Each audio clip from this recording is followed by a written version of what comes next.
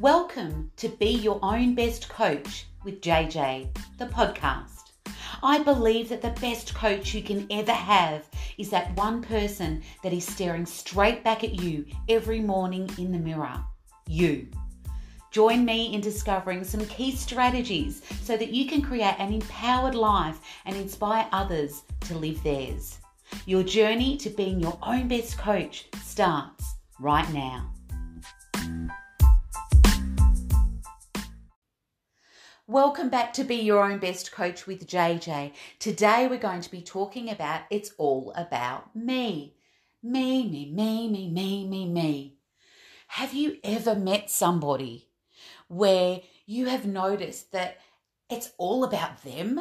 They're coming from a self righteous place, and sometimes they'll step over people, they'll look at situations and they'll manipulate different situations and it's all about them.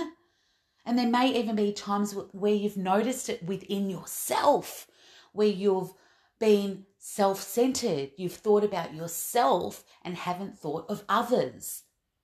I love this quote from Stephen Kendrick. He says, Almost every sinful action ever committed can be traced back to a selfish motive.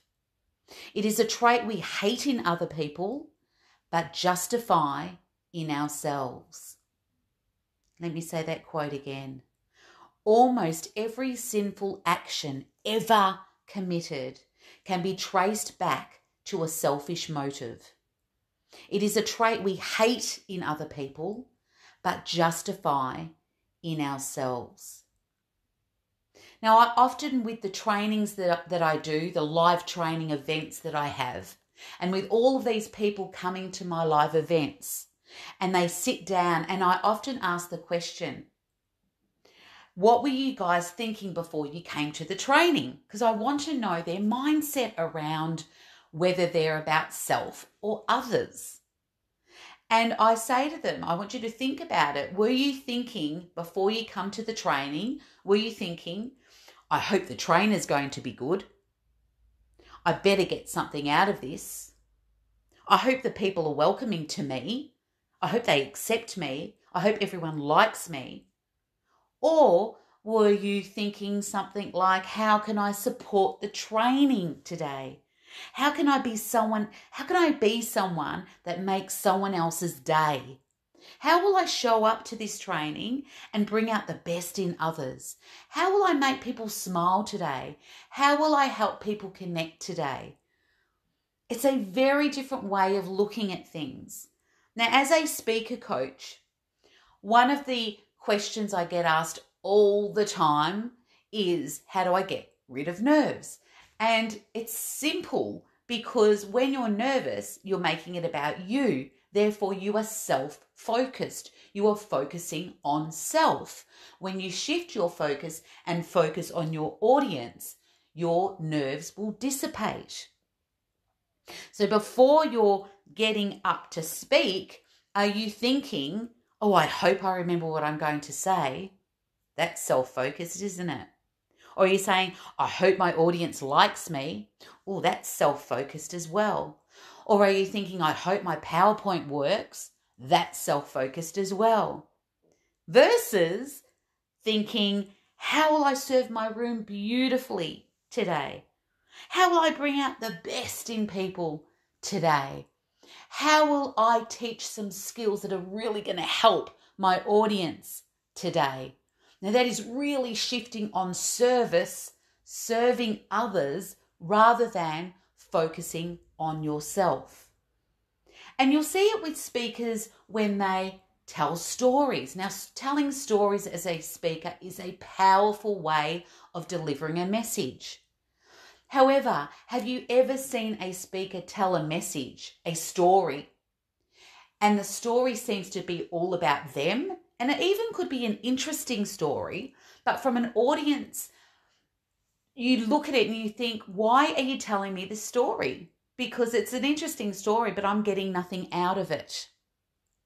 So that is when a storyteller, a speaker, is telling a story, but it's all about them. So they might be telling a story and they might get poor me, like, poor me, this has happened to me. So they get some sympathy. Or look at me, look how good I am, look what I've achieved, and they tell you a story. And so the story can be very much a look at me, it's all about me story, versus a speaker telling a story and bringing the audience into the story. And so, therefore, you're making it about we because they feel like they're in your story with you. You get them to realize their own potential when they come into your story. You might teach them what skills and attributes that they already have that they need to tap into by talking about your story. It's a very different way of telling the story. The story isn't about me as the speaker, the story is about we and getting your audience into that story. Now, how we communicate and make decision, decisions shows our level of emotional maturity. And when I look at focusing on me or focusing on others or focusing on we, it's like this pendulum and we can go too far over going, oh, it's all about me, or focus on all about others. But it's about this equilibrium, this symmetry, or this balance of saying, if I can focus on we and a win win situation, that's a beautiful equilibrium. And that's the focus that we're going to be talking about today. Now, I don't know about you at the moment in Australia, we're watching Bachelor in Paradise. And I know, I know some of you will be listening and thinking, oh, JJ, you watching Bachelor in Paradise? Well, I am watching Bachelor in Paradise. It's only for research purposes. but the drama of that show, and it was fascinating seeing the first show. And those of you that haven't watched Bachelor in Paradise, it's this bachelor, and all of these ladies come in and they're competing to for the bachelor's heart. And so, one at a time, these beautiful women come in and they meet this beautiful man, this tall, dark, handsome man that's in uh, The Bachelor. And it, actually, I said it was Bachelor in Paradise. It isn't Bachelor in Paradise, it's Bachelor. It's just Bachelor. And so, these beautiful women are coming through, and one at a time, they're meeting this bachelor. And this lady comes through and she's walking down for the first time she lays eyes on this bachelor and he's tall dark handsome. And she's walking down this this corridor. And as she's walking she's looking at him and she's got this you know sparkly dress on and she's walking and she says oh my gosh oh my gosh. And i'm thinking she's going to say look at you you're handsome or something about him that she's noticed because she's looking at him and She's walking towards him. But no, she doesn't say that. She says, Oh my gosh, oh my gosh, aren't I just so sparkly? And, and I just laughed. It was like, like, look at me. It's all about me, me, me, me, me, me. And then she gets to him and then she says, How much would you spend on my birthday present? Now, this is someone that she's just met. And it really shows where she is on the pendulum. She's all focused about her. She was focused about how she looked, and she even said about that. And then she's asking someone, a complete stranger that she's just met, how much would you spend on a birthday present for me? So it's really interesting the language that shows up and the actions that we take will show a lot about where we're sitting most of the time on that pendulum. So we can either swing over to too much about self, about me, me, me, me, me, and it's all about you and you and not about others, or we can swing over to others and that could be a detriment to ourself. Or we can sit in the middle where it's about we and we have this beautiful balance of self and of others and this equilibrium. And this is what we're going to be talking about today. So, what happens when we're focusing primary on others if we're focusing too much if we overuse it i call i call this like building we've got to build the muscle of self-awareness around where we sit each and every moment of our day. Now, if we're focusing too much on others, primary on others, most of our life, most of our time, what can happen is that that can be self sacrificing at the expense of self.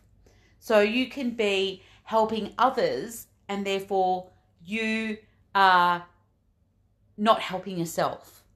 You might be saying stuff like, I said yes, but I really mean no because you want to help someone. So they say, Oh, can you please help me? Can you babysit my children? You really want to say no, but you say yes instead because it's all about others.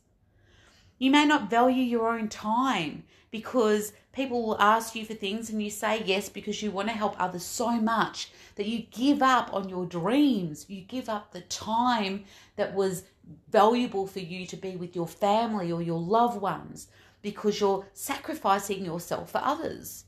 Your health can suffer. You can burn out. You can attract people that take advantage of you. You can even have financial hardship because you can attract people that might say, Oh, can you just lend me some money? And because you're all about others, you might be saying, Okay, yep, I'll give it to you because you want to help others so much. But because you're overusing that pendulum and it's all about others, financial hardship could be a result of that. And then a result could be that you could be frustrated you could become bitter. You could become regretful because you're saying yes when you mean no. And you're doing everything for others at the detriment of yourself. And, and we call it Stephen Covey, the wonderful Stephen Covey, when he was alive, would call this a lose win situation.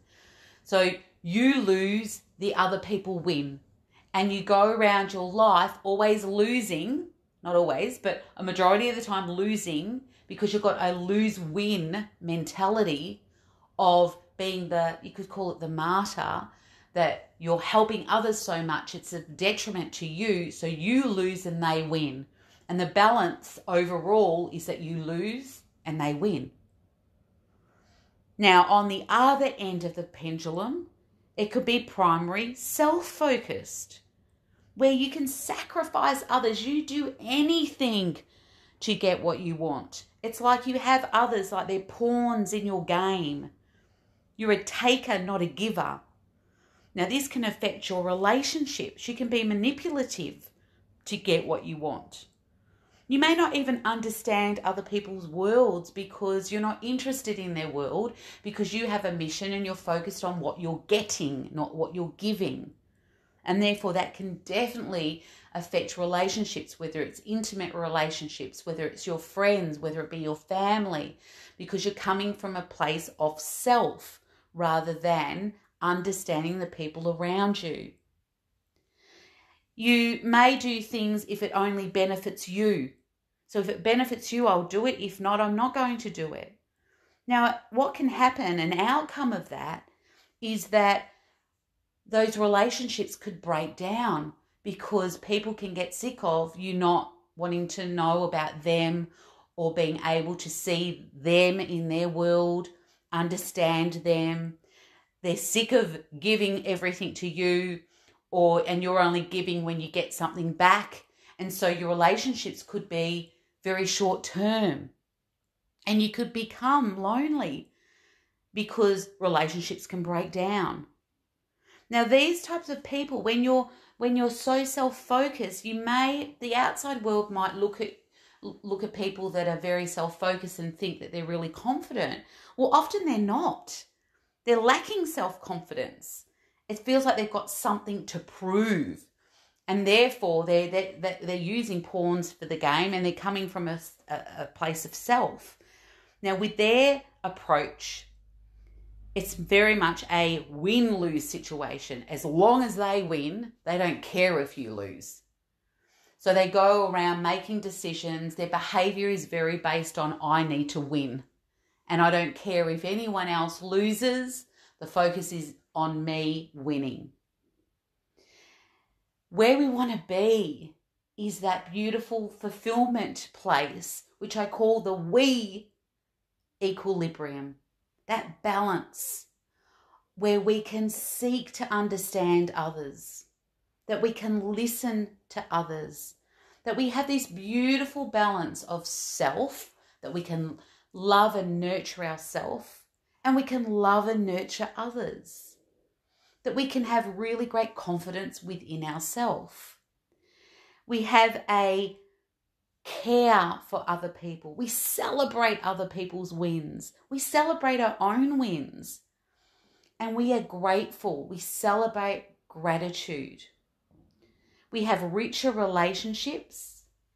And we give and we receive with gratitude.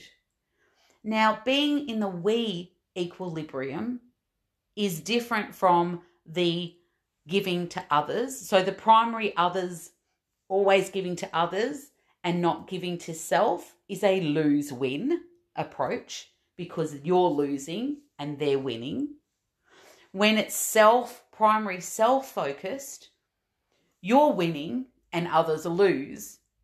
Where the we equilibrium, when you're really focusing on a beautiful balance, a beautiful harmony of looking after yourself and focusing on others then that is a win win approach, a win win scenario where you want to have that beautiful harmony where you both can have a beautiful relationship and you can win and they can win too.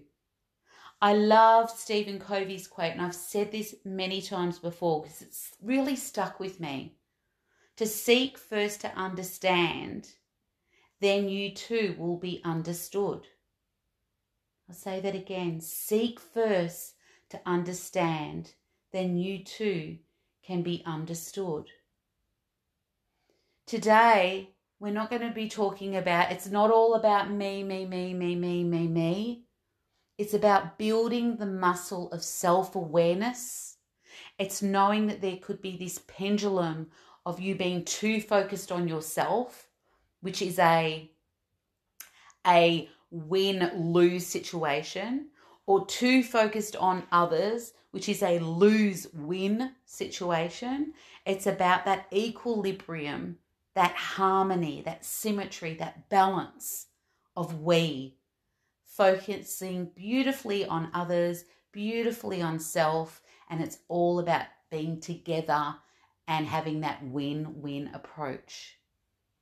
So I want to finish with a quote that I wrote.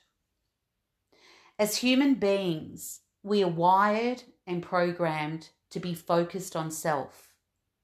We need to build the muscle of self awareness around the equilibrium of we rather than just you or me. Thanks, guys. See you on the next podcast.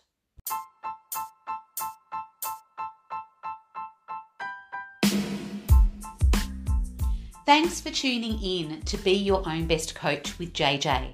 Make sure you subscribe to this podcast and follow me on Instagram at JJ Speaker Coach. And remember to live with insatiable passion, create an empowered life, and inspire others to live theirs.